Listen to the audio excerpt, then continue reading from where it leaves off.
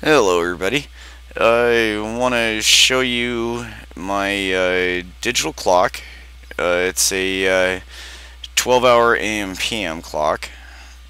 This one I've not, you know, I've seen of course the displays and everything before, the kind of controls, everything. I have of course grabbed most of this from other people, but it's usually pretty simple to figure out for yourself either way. The displays sometimes get a little bit more interesting, of course I'll show you, but uh, the mechanics behind it and how small it is is what I am really happy with right now. Uh, but as you can see it's going, and uh, I'm just uh, kind of kick it along here really quick. And it will, yep, a little slow there. I am working on some of the delays. It would be nice to hopefully be able to figure that out but it is at least working. And sometimes, uh, due to the delays on repeaters back there, you have to kick one forward to get the other one to advance. But as you see, there's 9, 10 p.m., 11 p.m., and I'll just kick this instead of doing everything else. But yeah, there we are, 12 a.m. It's going through. Um, show the outside, change our time here.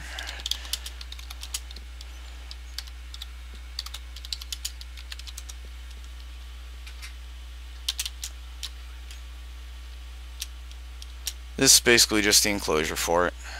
Um, most of that area is just uh, to blind out daylight. Uh, this area starting here is of course where the clock actually is. So basically the clock is all within that box except for a little bit that goes underground just for wiring and uh, basically I did put my clock down there or the sorry the uh, basic clock running everything and I will get down there and show you. Hop in my nice little quicker transportation and run it over there.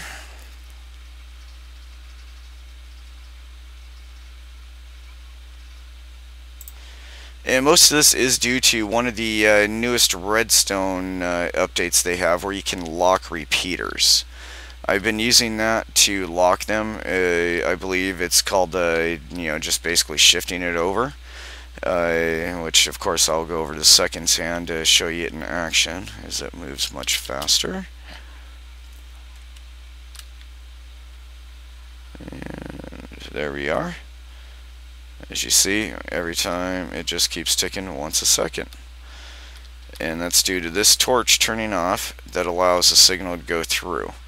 Uh, setting the repeaters on a uh, two tick delay is required or it uh, starts doubling the signal. Um, going down underneath, uh, let's see here, where's a nice safe spot to, oh, uh-oh, not good, just ruined it, what do you know. And he was on the two-tick delay. And do I have a button here? Yes, I do. What do you know? Just in case I ever screw something up like that. And he did not take. I, it's because I am pointing my repeater in the wrong direction, isn't it? Maybe that'll help. Let's see. There we go. He's running again. But yep, that is the clock. Uh, 10 tick delay.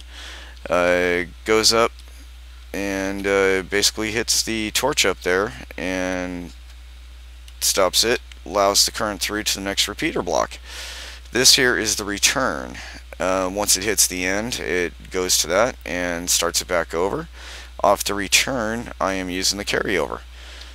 I grab my carryover here with a short delay because I am grabbing off of, I believe, the 8. Uh, so basically delay it just enough for once the, or no, I'm grabbing it off the 9, sorry. And delaying it just enough so once it ticks back to 0, it uh, triggers the next one to switch, so it's pretty much simultaneous. Um, I'll go back up and show you that in a minute, but of course then here above us is the next one, and there's the come down. I unfortunately have not found a better solution for this. I'm sure somebody else out there has, and I need to find it because this is a pain in the butt. But that is basically a 10 second delay. So I start my uh, minutes at the 50 second mark, and basically once we hit 59 and 60, it triggers it and sends it over to the one or two minute whatever the next tick on that one would be. Uh, all this other stuff here that you're seeing heading back that way, that's all to the control station if you want to set the clock. Uh, and of course, the only I have two mechanics in here with pistons. I have my on-off switch and my AM/PM up there, which I will show you, which I do believe is the T flip-flop, if I remember correctly. And this is also the carrying line for the AM/PM, which I'll show you here at the end. And just to kind of give you an idea, it just kind of continues down. Certain ones I feed off the zero, so you don't actually see the feedback in over here. Um, some I feed off the 9, it so it kind of just depends if you're going to see those or not. And let's try and find a hopefully safe place to pop out at. Luckily, yep, cool. Didn't mess anything up. This is the hour, uh, tens of hours, so basically it's either one or it's off. And so I still have to have the two repeaters because it has to be held in one state for being off at certain times. When it's on, it's of course showing the one. When it's off, it's not. Each time that guy ticks over, I believe, or is it every other time? And did it? No, once it ticks, eh, I'll have to think about that. I can't remember how I programmed it now. Uh, but that does end up sending the signal down. Uh, this is the feed in from that very long display and sends that down and that's what feeds into the AM/PM and I'll show you that.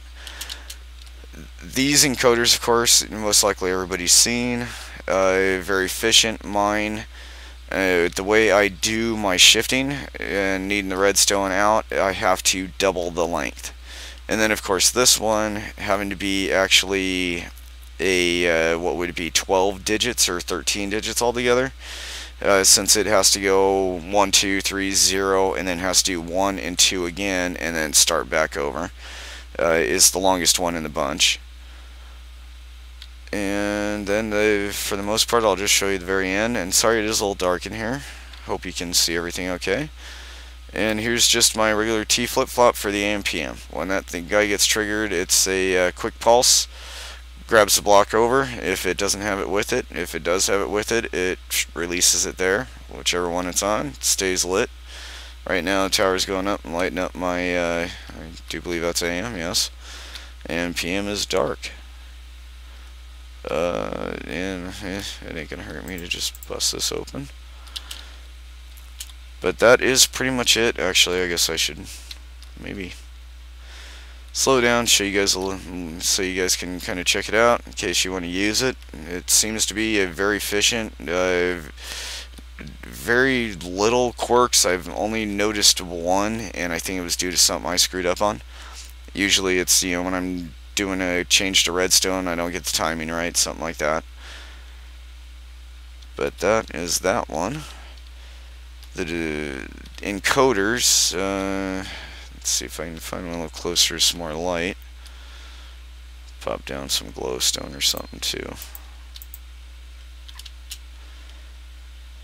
And I'm sure you can, this is pretty much familiar to most everybody out there.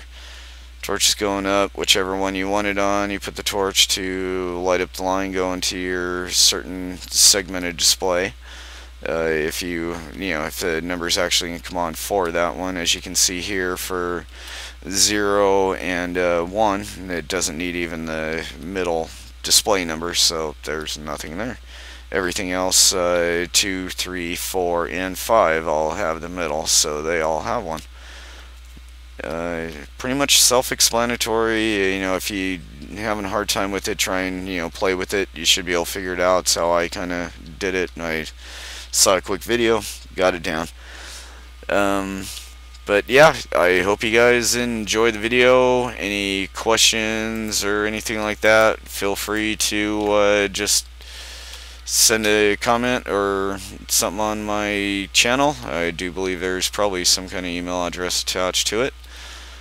And uh, if you liked it, you know, give me a thumbs up.